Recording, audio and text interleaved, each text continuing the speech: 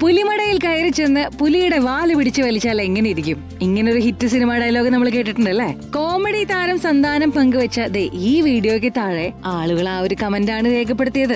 ഇത് പക്ഷെ പുലിയല്ല കടുവയാണെന്ന് മാത്രം. സംഗതി എന്തൊക്കെ പറഞ്ഞാലും എത്ര ഇണക്കി വളർത്തിയ കടുവയാണെന്ന് പറഞ്ഞാലും ഭീമാകാരനായ ആ ഒരു ജീവിയുടെ അടുത്ത് പോയിരിക്കാനും ഫോട്ടോ എടുക്കാനും ഒക്കെ വല്ലാത്ത ധൈര്യം വേണം. ഒന്ന് ആലോചിച്ച് നോക്കിക്കേ ഒരു കടുവ നമ്മുടെ അടുത്ത് വന്ന് നിൽക്കുന്നു അത് ഗർജിക്കുന്നു എന്നൊക്കെ പറഞ്ഞാൽ തന്നെ ആലോചിക്കുമ്പോൾ തന്നെ നമ്മുടെ കിളികളൊക്കെ പറന്നു പോകും അല്ലേ? അത് പിന്നെ സന്താനവും ആളൊരു പുലിയാണല്ലോ. തമിഴ് സിനിമ ഇഷ്ടമുള്ള മലയാളികൾക്ക് ആളെ വലിയ ഇഷ്ടമായിരിക്കും. Santosh son of Subramaniam something something ബാസങ്കര Bhaskaran okay okay Velayudham തലൈവ തുടങ്ങി നിരവധി സിനിമകളുടെ കോമഡി സീനുകളിലൂടെയും വല്ലഭനക്ക് പുല്ലുമായുധം തുടങ്ങിയ സിനിമകളിലെ നായക വേഷത്തിലൂടെയും സന്താനത്തിന്റെ പ്രകടനം ആളുകളെ ഏറെ രസിച്ചാണല്ലോ കണ്ടിരുന്നത്. തന്റെ യാത്രക്കിടയിൽ അദ്ദേഹം പകർത്തി പങ്കുവെച്ച ഈ വീഡിയോയ്ക്ക് താഴെയും അത്തരത്തിൽ രസകരമായ കമന്റുകളായിരുന്നു. അപ്പോഴേ ഈ പുലി വാൽ പിടിക്കാനും കടുവയുടെ വാൽ പിടിക്കാനും ഒന്നും പോയില്ലെങ്കിലും ജീവിതത്തിൽ വല്ലപ്പോഴൊക്കെ നമ്മൾ അഡ്വഞ്ചറസ് ആയിട്ടുള്ള കാര്യങ്ങളൊക്കെ ചെയ്യണം. അതൊക്കെ രസമല്ലേ? ഈ ഭയങ്ങളെ കീഴടക്കാൻ സാഹസികമായ യാത്രകൾ സഹായിക്കുന്നൊക്കെ പറഞ്ഞു കേട്ടിട്ടില്ലേ? V star and മേഴ്സലൈസ് ice cream presents behind its golden mic musical concert supported by quality food products കിഡക്സ് baby Scooby and Kerala matrimony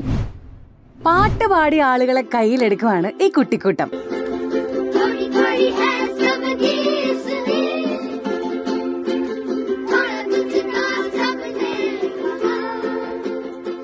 ഇവരാണ് ലഡാക്കിന്റെ ലിറ്റിൽ റോക്ക് സ്റ്റാർസ്. എന്ത് രസമായിട്ടാണ് ഇവർ ഒരേ താളത്തിൽ ഈ ഒരു ഇൻസ്ട്രുമെന്റ് വായിച്ച് പാട്ട് പാടുന്നത് അല്ലെ?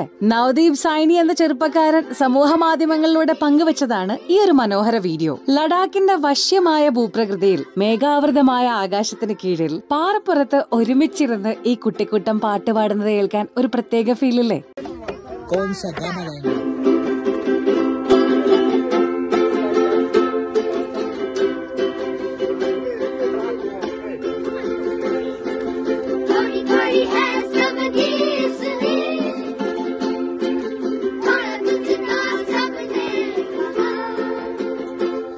എട്ട് കുട്ടികൾ ചേർന്ന് ആ ഒരിടം മുഴുവൻ തങ്ങളുടെ പാട്ടിനെ കൊണ്ട് മനോഹരമാക്കി. അപ്പോഴേ അങ്ങ് ലഡാക്കിലേക്ക് നിങ്ങളൊരു യാത്ര ചെയ്യാൻ ആഗ്രഹിക്കുന്നുണ്ടെങ്കിൽ അവിടെ ചെല്ലുമ്പോൾ നിങ്ങളുടെ മനസ്സിന്റെ താപത്തിനെ അകറ്റുന്ന തണുപ്പും അനന്തമായ ആകാശവും പർവതങ്ങളും മാത്രമല്ല അവിടെ എവിടെയെങ്കിലും നിങ്ങളെയും കാത്ത് ഈ കുട്ടിക്കൂട്ടത്തിന്റെ പാട്ടും ഉണ്ടായിരിക്കും. അപ്പൊ അങ്ങോട്ട് പോകുന്നവർക്ക് ഇത് കേൾക്കാൻ ഭാഗ്യം ഉണ്ടാവട്ടെ എന്നൊക്കെ വിഷ് തൽക്കാലം നമ്മൾ കേരളത്തിലുള്ളവർക്ക് ഇവരുടെ പാട്ട് ഇങ്ങനെ റിപ്പീറ്റ് കേട്ട് ആസ്വദിക്കാം.